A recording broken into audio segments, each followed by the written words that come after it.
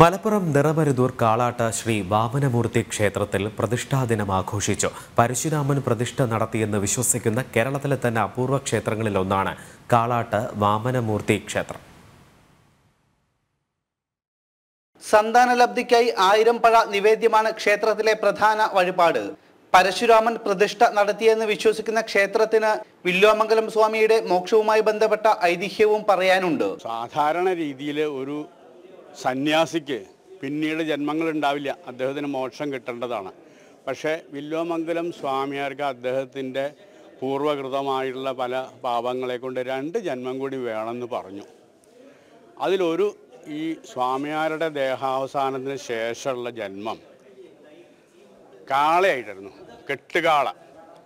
അങ്ങനെ കെട്ടുകാളയായിട്ട് ഭാരം വഹിച്ച് നടക്കണ ആ കാള ഈ ക്ഷേത്രത്തിന്റെ അടുത്ത് വന്നപ്പോൾ നിന്നു. അതിന് മനസ്സിലായി. അതിന്റെ ജീവിതാവസാനമായി എന്ന് മനസ്സിലായി. ആ കാള ഇവിടെ നിന്നു. അതാണ് കാള കെട്ടിയ സ്ഥലം കാളാട്ടായത്. നൂറ്റാണ്ടുകൾ പഴക്കമുള്ള ക്ഷേത്രമാണ് ഇത്.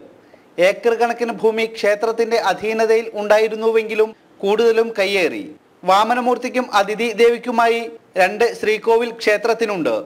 തുലാം മാസത്തിലെ തിരുവോണ നാളിൽ ഇവിടെ വേദപാരായണം നടക്കാറുണ്ട്. തുലാമാസത്തിലെ തിരുവോണത്തിനാണ് ഇവിടെ പ്രാധാന്യം. എന്താ വെച്ചാൽ അന്ന് ഇവിടെ ത്രിസന്ധ എന്ന് പറഞ്ഞിട്ട് ഈ വേദങ്ങൾ പല ടോണിൽ ചെല്ലുന്ന ഒരു പണ്ടത്തെ സമ്പ്രദായത്തിൽ വേദങ്ങളിൽ പണ്ഡി പണ്ഡിത്യമുള്ള ധാരാളം ആൾക്കാർ ഇവിടെ വന്ന് ഇവിടെ താമസിച്ച് വേദം അഭ്യസിച്ചിരുന്നു വേദം അവർ ചൊല്ലി കേൾപ്പിച്ചിരുന്നു എന്നൊക്കെ പുരാതനമായിട്ട് കേട്ടിരുന്നത്. ഉപദേവന്മാരായി ഭഗവാൻ അയ്യപ്പനും പരമശിവനും തൊട്ടടുത്തായി സ്ഥിതി ചെയ്യുന്നു. വിവിധ പൂജാകർമ്മങ്ങളോടെ വാമനമൂർത്തി ക്ഷേത്രത്തിന്റെ പ്രതിഷ്ഠാദിനം ആഘോഷിച്ചു. ജനം മലപ്പുറം.